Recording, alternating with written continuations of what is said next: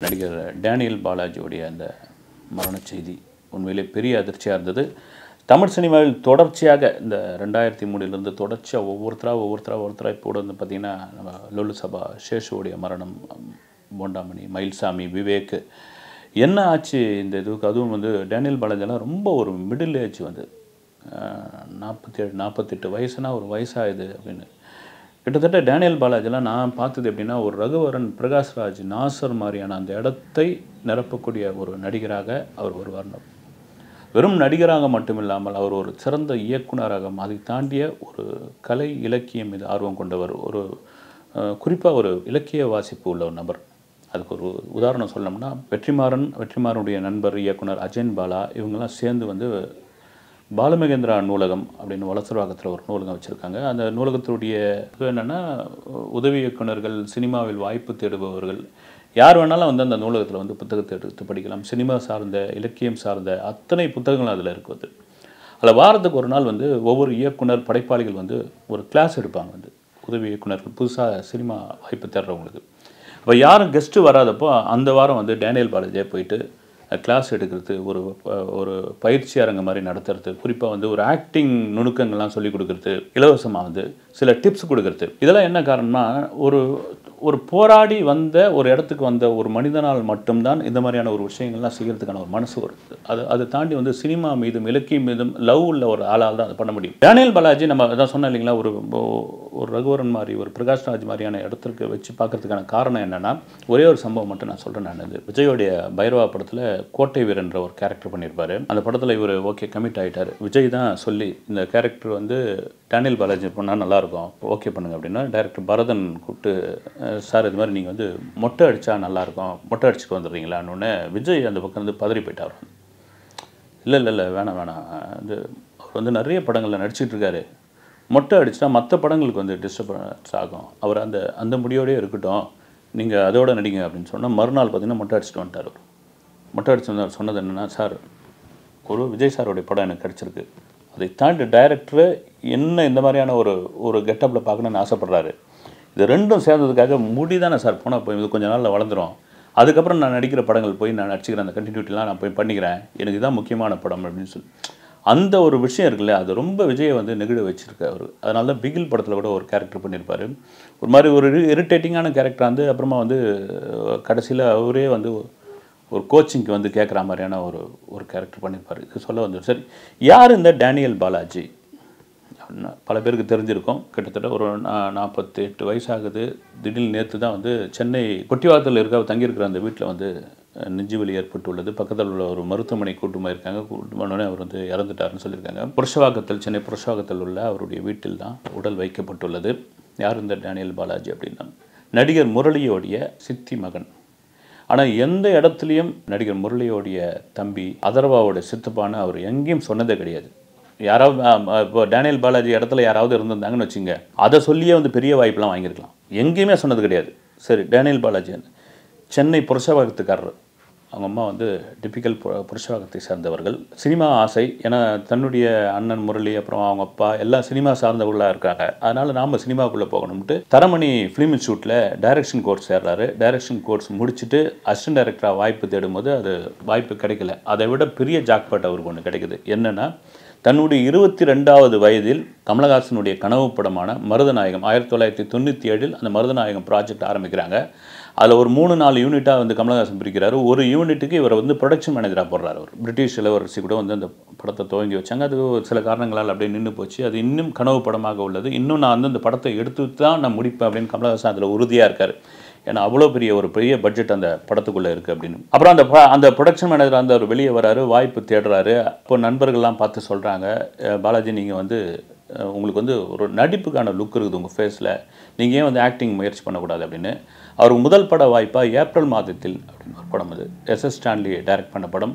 ஸ்ரீகாந்த் வெங்கட் பிரபுலாம் கூட அதில் நடிச்சிருப்பார். அந்த படத்தில் ஒரு சின்ன ரோல் நடிச்சிருக்காரு. அதுக்கப்புறம் வந்து அதே போல் சின்ன சின்ன வாய்ப்புகள் வருது. அவருக்கு பெரிய விருப்பம் இல்லை. இந்த ஏப்ரல் மாதத்தில் படம் பார்த்துட்டு சித்தி சீரியலுக்கு அவருக்கு ஒரு வாய்ப்பு வருது. அந்த சீரியலுக்கு இவர் தான் அந்த கேரக்டருக்கு பொருத்தமானவர்னு முதல் டிக் அடிக்கிறது ராதிகா சரத்குமார் தான். அதோட ஒரு சீரியலில் நம்ம நடிக்கணுமா அப்படின்னு ஒரு சின்ன வேண்டாக இருப்பார். இருக்குது இது ஒரு மெகா சீரியல். இது உங்களுக்கு பெரிய பேர் வாங்கி தரும். இந்த கேரக்டர் மிகப்பெரிய பேர் வாங்கி தரும்னு அவர் சொல்கிறாங்க போய் நடிக்கிறாரு. அந்த கேரக்டர் பேர் டேனியல். இவர் ஒரிஜினல் பேர் வந்து பாலாஜி. அந்த காலகட்டங்கள் சித்தி சீரியல் வந்தப்போ அதனுடைய இட்டு என்னன்னு வந்து அப்போதைய நபர்களுக்கு பல பேருக்கு தெரியும். நீங்கள் அந்த நேரத்தில் அந்த சீரியலுடைய ஒரு டைட்டில் சாங் வரும்பொழுது ஏதாவது ஒரு தெருவுக்குள்ளே போனீங்கன்னா அந்த தெரு முழுக்க அந்த பாட்டாக தான் வரும். ஒவ்வொரு வீட்லேயும் வந்து கண்ணின் மணி கண்ணின் மணின்னு அப்படி எங்கே பார்த்தாலும் இருக்கும். அந்த சீரியல் பட்டி தொட்டியும் பட்டையை கிளப்ப ஆரம்பிச்சது. குறிப்பாக பாலாஜியோடைய அந்த நடிப்பு அந்த டேனியல் அந்த கேரக்டர் வந்து பெரிய அளவில் பேசப்பட்டது. அதனால தான் பாலாஜி டேனியல் பாலாஜியாக மாறினார். அப்புறம் அலைகள்னு ஒரு சீரியல் பண்ணார். தொடர்ச்சியாக சீரியல் வாய்ப்பு வர வர வரன்னு ஆகிட்டார் இவர் ஐயோ சீரியல் நமக்கு வந்து ஒத்து வராது அப்படின்னு சொல்லி முடிவுக்கு வந்துட்டு திரைப்படங்களுக்கு வந்து முயற்சி பண்ணுவோம் நடிகரா அப்படின்ட்டு திரைப்படங்களுக்கு முயற்சி பண்ண ஆரம்பிச்சோன்னே பாலாஜி டேனியல் பாலாஜி கண்ணில் பட்டவர் வந்து கௌதம் மேனன் காக்கா காக்கா கதை ரெடி ஆகிடுச்சு அது ஆக்சுவலாக வந்து அஜித்துக்காக பண்ண கதை. அப்படியே இதுவாகி அது வந்து சூர்யா பண்ண ஆரம்பித்தார் சூர்யா கூட ஒரு போலீஸ் ஆஃபீஸர்ஸாக நடிக்கிறதுக்கு யாருன்னு போது இவர் கரெக்டாக இருப்பார். இந்த சீரியல் நடிச்சு அப்படின்னு சொல்லி அங்கே தான் ஒரு வாய்ப்பு கொடுக்குறாரு. அந்த காக்கா காக்கா தான் டேனியல் பாலாஜிக்கு ஒரு பெரிய திருப்புமுனையை கொடுக்குறது. அந்த காக்கா காக்கா ப வெற்றிக்கு பிறகு அவர் நிறைய படங்கள்லாம் வருது. அப்புறம் வந்து எக்கச்சக்கமான அந்த சின்ன சின்ன படங்கள்லாம் வருது. இதெல்லாம் வருது. அப்போ அவர் தெளிவாக ஒரு விஷயத்த சொல்கிறாரு நான் என்ன திமிர் பிடிச்சவன்னு நீங்கள் நினச்சிங்கன்னா கூட நினச்சிங்க நான் வந்து ஒரு மாதிரி கர்வமானவன் ரொம்ப இதுவான ஆள் தெனாவட்ட ஆள் என்ன வேணாலும் நீங்கள் நினச்சிங்க ஆனால் எனக்கு ரொம்ப கதை ரொம்ப முக்கியம் என் கேரக்டர் முக்கியம்.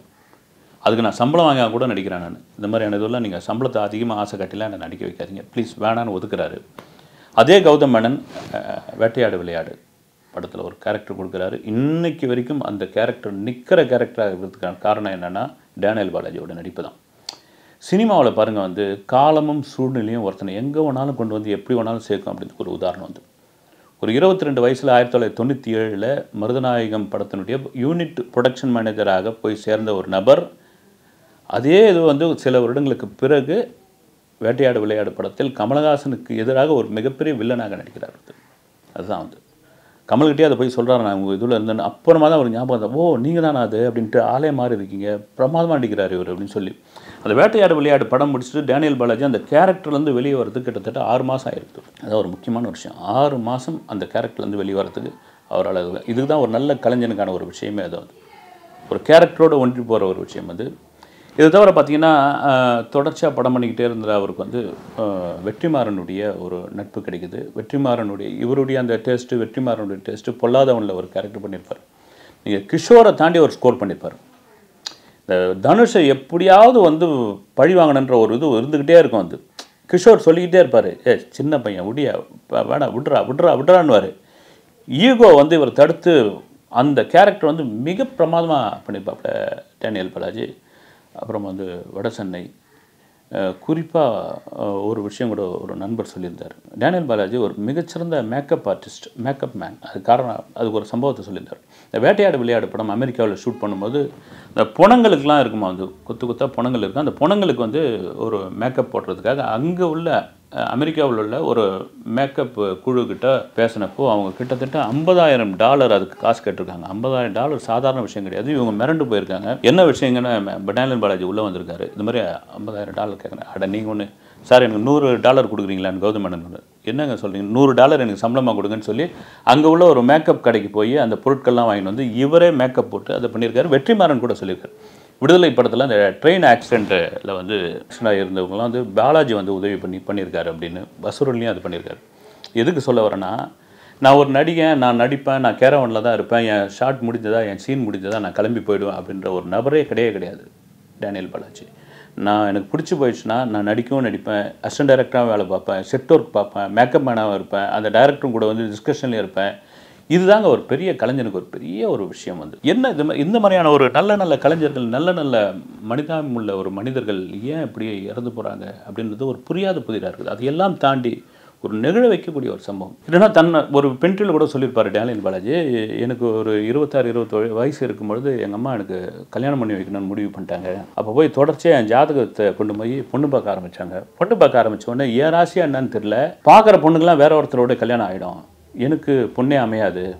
ரைட்டு விடுமான்னு சொல்லிட்டு ஒரு கட்டத்தில் எனக்கு கல்யாணமே வேணாமான்னு முடிவு பண்ணிட்டா அவங்களுக்கு ஒரு பெரிய மன கஷ்டம் உண்டு. எல்லா தாய்க்கும் உண்டு தானே. ஒரு மகனுக்கு வந்து திருமணம் பண்ணி வைக்கணும். அந்த திருமணம் பண்ணி ஒரு குடும்பம் உருவாகணும். அந்த குடும்பத்தில் ஒரு பேரனோ பேத்தியோ தான் மடியில் வச்சு பார்க்கணுன்ற ஒரு ஆசை ஒன்று இருக்கும். அதே சமயம் அம்மாவுடைய ஆசை என்னென்னா ஒரு அங்காள பரமேஸ்வரிக்கு ஒரு கோயில் கட்டணும் அப்படின்னு ரொம்ப நாளாக இவர்கிட்ட சொல்லியிருந்துக்கிறாங்க. அது அம்மாவுடைய ஆசையை நிறைவேற்றுவதற்காக ரெண்டாயிரத்தி பத்தொம்போதில் ஆவடியில் ஒரு இடம் வாங்குறாரு. இடம் வாங்கி தான் நடிக்கிற படங்கள் அதனுடைய சம்பளத்தை வந்து அப்படியே அந்த கோவில் கட்டுறதுக்கு வந்து செலவு பண்ணுறாரு ரெண்டாயிரத்தி பத்தொம்போதில் கட்டார் கட்டார் கட்டி கட்டி முடிச்சுட்டு கடந்த ஒன்பதாம் தேதி அந்த கோவிலுக்கான கும்பாபிஷேகம் நடந்திருக்கு. அங்கால பரமேஸ்வரி மயான கொள்ளை. தன்னுடைய அம்மாவுடைய அந்த ஆசையை நிறைவேற்றின அந்த மகன் இல்லைன்ற அந்த தாயோட மனநிலை எப்படி இருக்கும் பாருங்க வந்து இதுதான் வந்து. ஏன்னா ஒரு நல்ல கலைஞன் ஒரு நல்ல படைப்பாளி ஒரு நல்ல இயக்குனர் டேனியல் பாலாஜிக்கு ஒரு ஆசை ரொம்ப காலமாக இருந்திருக்குது. ஒரு ஏன்னா நான் வந்ததே வந்து டைரக்டர் ஆகணும் தான் வந்தேன் நான். படித்ததே வந்து டிஎஃப்டியில் டைரக்ஷன் வச்சு தான் படித்தேன் ஆனால் நடிகன் ஆகிட்டேன் எப்படியாவது ஒரு தரமான என் வாழ்க்கையில் ஒரு நாலு படத்தை நான் டைரக்ட் பண்ணும் வெற்றிமாறன் மாதிரி ஐயா மறைந்த பாலமகேந்திரா மாதிரி பரதராஜா மாதிரி ஒரு பேர் வாங்கக்கூடிய ஒரு டைரக்டராக நான் இருக்கணும்னு அவருடைய ஆசை ஆசை கடைசி வரைக்கும் நிறைவேறாத ஆசையாக ஆயிடுச்சு.